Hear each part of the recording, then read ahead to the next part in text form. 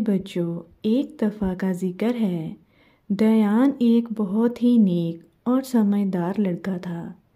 पढ़ाई लिखाई में दिल लगाने वाला और अपने बुज़ुर्गों की अतात और इज़्ज़त करने वाला था।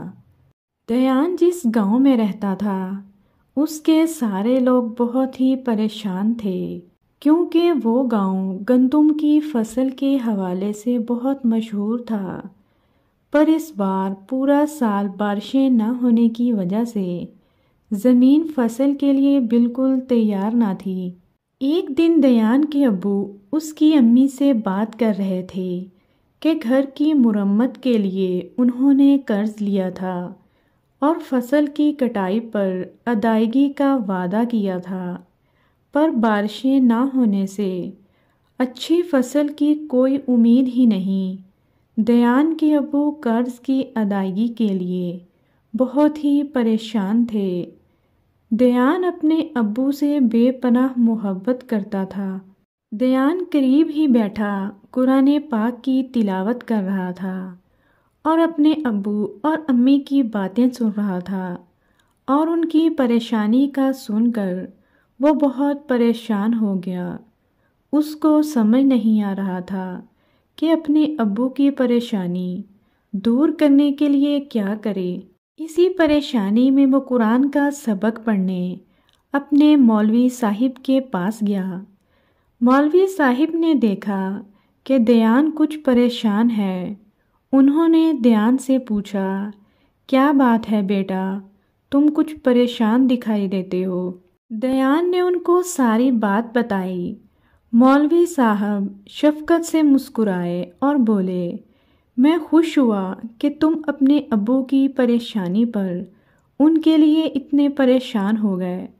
तुम एक अच्छे बच्चे हो।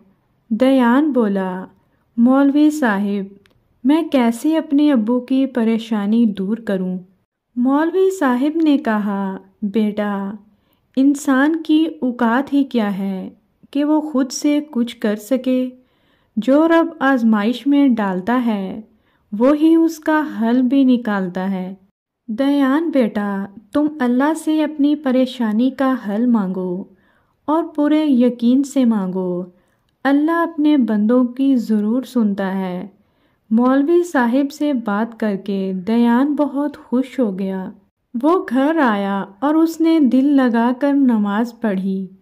और पूरे खलूस से अल्लाह से अपने अब्बू की परेशानी के लिए दुआ मांगी और बारिश का इंतज़ार करने लगा। पूरा दिन गुजर गया, पर बारिश ना हुई। दयान हर रोज़ लगातार नमाज़ अदा करता रहा और दुआ माँगता रहा। काफ़ी दिन गुजर गए, पर बारिश ना हुई। दयान एक बार फिर मौलवी साहिब के सामने अपनी परेशानी लेकर गया।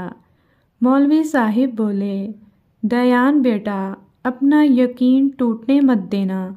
बाज़ अवकात अल्लाह को अपने बंदों का मांगने का अंदाज इतना पसंद आता है कि अल्लाह चाहता है कि मेरा बंदा बार बार मांगे। दयान ने नमाज़ अदा की और नमाज़ के बाद दुआ के लिए हाथ उठाए। प्यारे अल्लाह जी, मुझे मालूम है कि आप मुझसे बहुत मोहब्बत करते हैं और चाहते हैं कि मैं हमेशा आपसे ऐसे ही अपने दिल की बातें करता रहूँ। अल्लाह मियाँ जी, मैं अपने अबू के लिए बहुत परेशान हूँ अगर इस साल हमारी गंदम की फ़सल अच्छी ना हुई तो मेरे अबू अपना वादा पूरा नहीं कर सकेंगे आप तो अपने बंदों की हर जायज़ ख्वाहिश पूरी करते हैं प्लीज़ मेरी ये दुआ पूरी कर दें, बारिश बरसा दें। मैं हमेशा आपका अच्छा बंदा बन कर रहूँगा। दयान ने अभी दुआ ख़त्म ही की थी कि गाँव के चारों तरफ़ गहरे काले बादल आ गए। दयान दौड़कर बाहर निकला और काले बादलों को देखकर खुशी से अपने अम्मी और अब्बू को आवाज़ें लगाने लगा। अम्मी, अब्बू, देखें, मेरी दुआ कबूल हो गई। अल्लाह मियाँ जी, आपका बहुत शुक्रिया।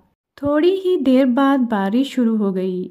छम छम बरसती बारिश में ज़मीन पर अम्मी अबू और आसमान पर फरिश्ते।